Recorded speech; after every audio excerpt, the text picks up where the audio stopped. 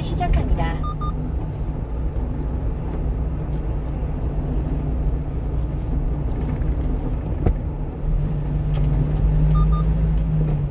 잠시 후 좌회전입니다.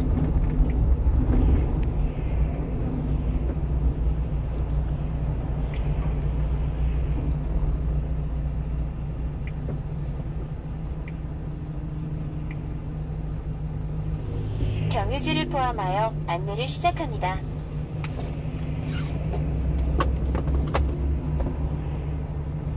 추천 경로로 안내합니다.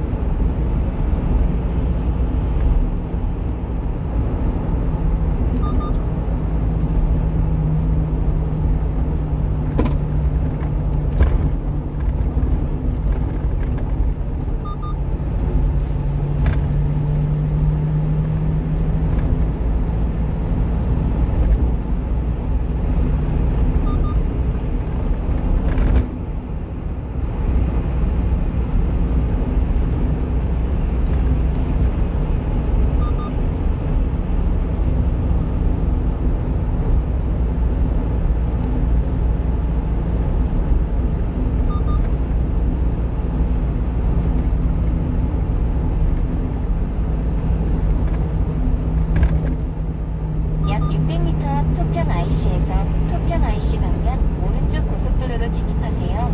이어서 39m 앞 왼쪽 방향입니다.